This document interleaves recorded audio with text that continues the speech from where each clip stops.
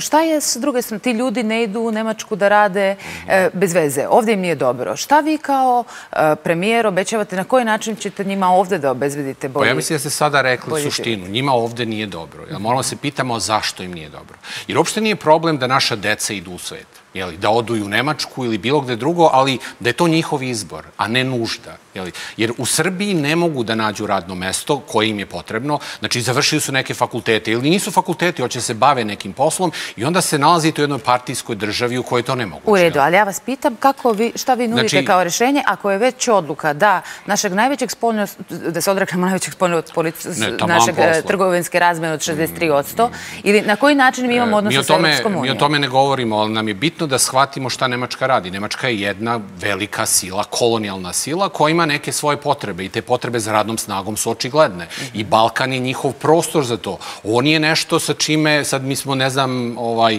govorimo o nekim strašnim stvarima, ovo su činjenice, ovaj, kako nemačka politika radi. Slušate njihovog ministra rada i on će vam kazati nemačkoj industriji godišnje treba 400.000 ljudi.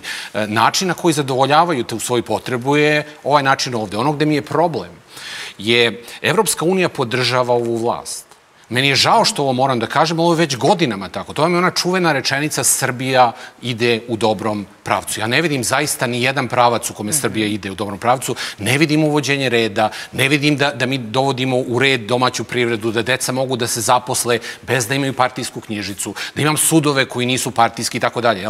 Prema tome, naš posao je da prvo shvatimo šta se dešava, a onda s druge strane da shvatimo i gde nam je problem u sistemu, jel? jer ovaj kolonizator koristi slabosti jel? u sistemu i da onda popravimo te slabosti. A to je jel, nezavisna institucija sistema, da nam pravosuđe funkcioniše, da nemam partokratiju, da nemam burazersku ekonomiju.